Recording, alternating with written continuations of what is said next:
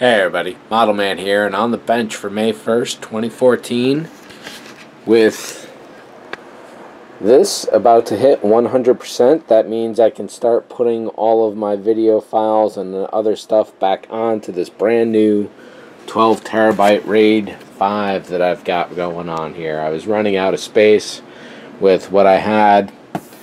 11 terabytes is definitely going to give me a little room. And speaking of the room, this place has been a mess for the last couple weeks while I worked on a secret project, which is right up there next to Godzilla. And that's about the best I can really show it to you until hopefully I'll be able to reveal more by June or July. We'll see how it goes. But getting this place cleaned up was a real critical thing that I had to do. And as you can see, the Jupiter 2 is ready to go. I've got some sequencers here got that there. Got the rest of the model over there. Got things sorted up there. Oh yeah and I also and I also did just a little bit of rearranging. There's a little more room here in this area now. Just a little. I think since the last bench update that is new. The old one is gone here. This was here but those guys have moved around and that is new and this is new and yeah I guess there's and of course this is a new position. Basically everything got some real fine tuning going on including my on the bench workboard. It wasn't really visually distinct enough where things were at with little X's and crosses so I decided to add some red and some green Green means that particular thing, whether it's assembly, putty, surfacing, lights and fiber, primer, paint, is in progress or was left in progress the last time I worked on this model. Or red for the stage out of 11 stages is complete.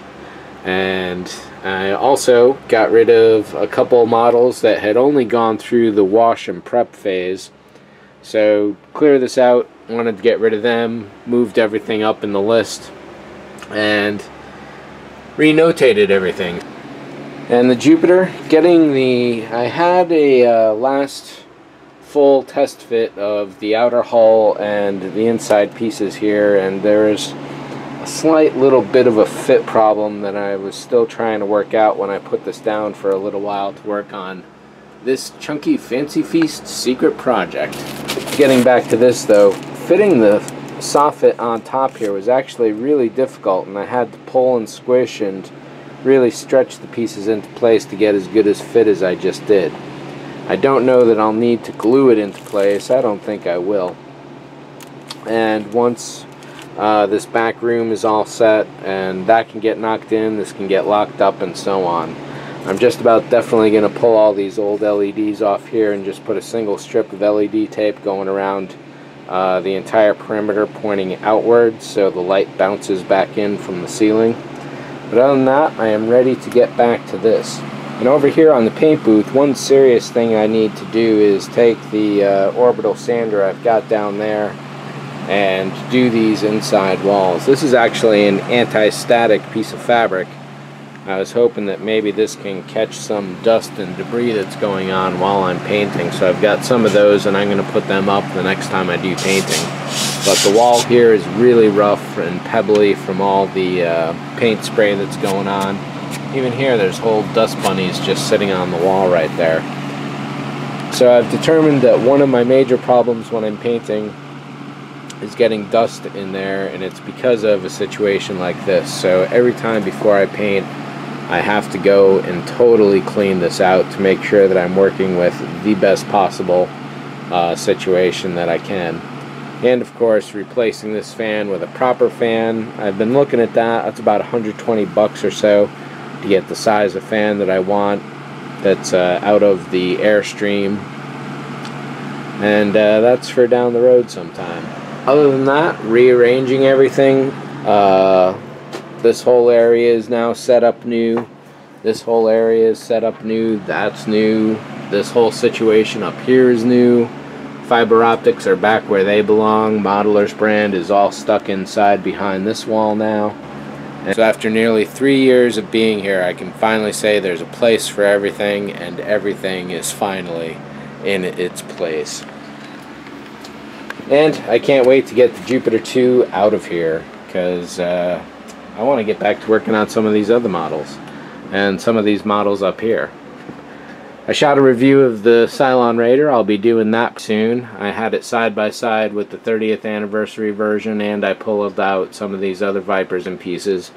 I tried doing a review of the robot and the original footage went corrupt. I tried a few more times to review do reviews and those just went nowhere and I kept resealing the bags after every time I did it and just become became a tedious mess. So before I build that model, I'll do a review then and it's gonna sit here until then. It's not. It's really great that Moebius did that though, and I'm very happy. I'm also happy with the Cylon uh, for all of its really wonderful benefits and the very few nitpicking piddly stuff uh, that goes along with it. It's really wonderful to have that size and to have the Viper in scale with it at long last. There's talk that they're going to do a 172 Viper, which would just about go with the original Cylon Raider. And of course, don't discount the original Cylon Raider because that was used on screen in the show, so technically it's accurate. As accurate as the old AMT 1701 was for being the Constellation and Doomsday Machine. And over here, I'm really hankering to build this full stack, and uh, I wish I had some time and some room because this is going to be a big, big model. One thing I did just do was go through all the different shuttles, how I might display them, what kit I would use for that, and so on.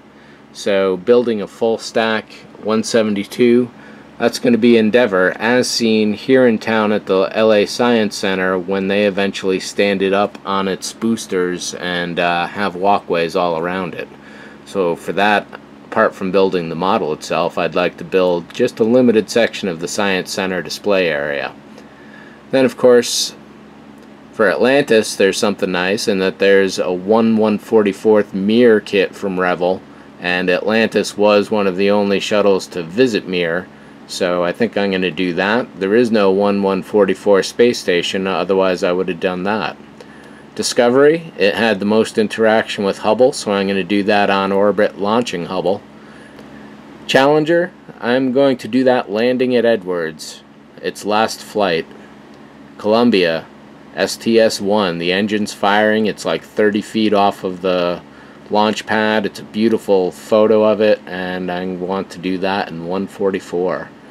Then Enterprise, I have a 747 orbiter right up there in that USPS uh, priority box. And uh, I'll do that on its final test flight just as it's separating from the 747 so those are my display ideas. I'd like to get to them definitely before the end of 2014 don't get me wrong there. And so the sooner I can get the Jupiter out of here the happier I'm really gonna be.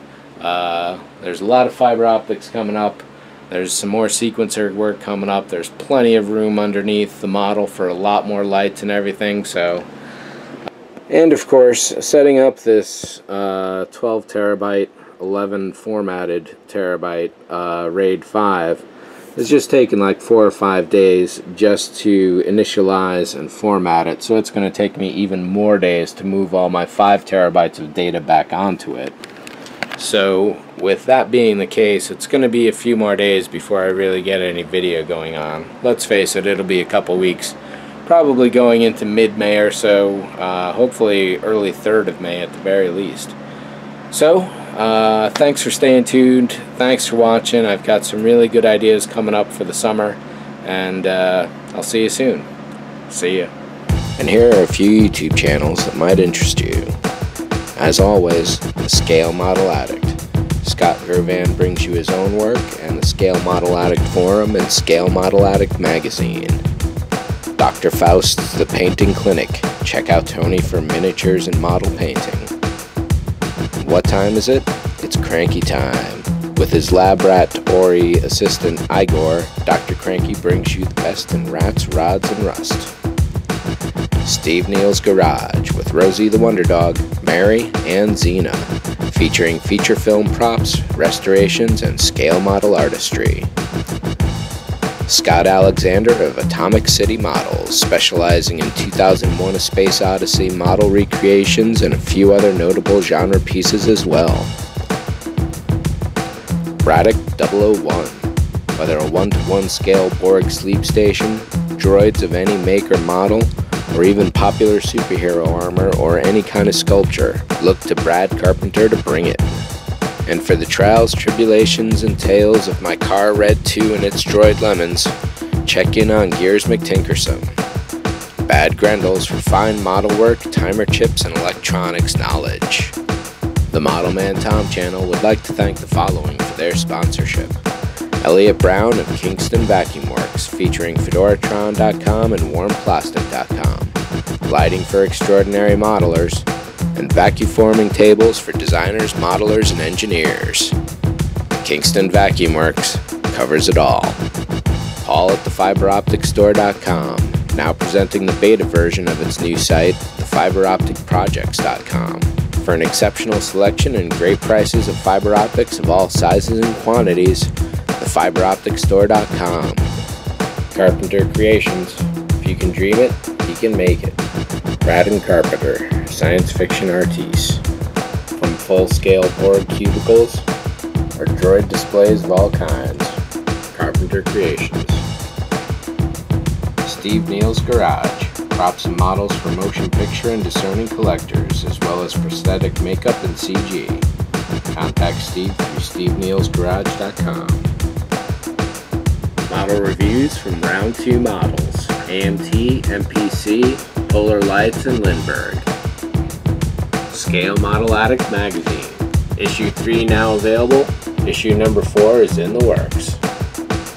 The Orbital Defense Engineering Commission, a 2001 A Space Odyssey specific forum for scale model kits, reviews, news, and discussion. Odec.proboards.com. More than just talk, hobbytalk.com, forum for every hobby and for the finest reference collection of feature film studio props and miniatures and models, Modelers Miniatures and Magic at modelermagic.com.